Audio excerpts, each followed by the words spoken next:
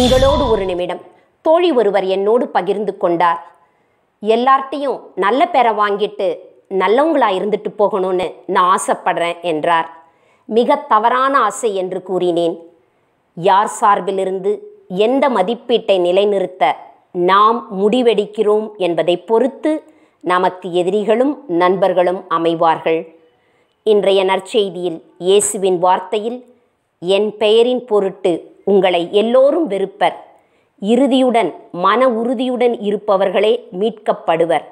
சரியான நிலைப்பாட்டை எடுத்து சவால்களை சந்தித்தவர்களை சரித்திரம் இன்றும் நினைவு கூறுகிறது தலை வணங்குகிறது.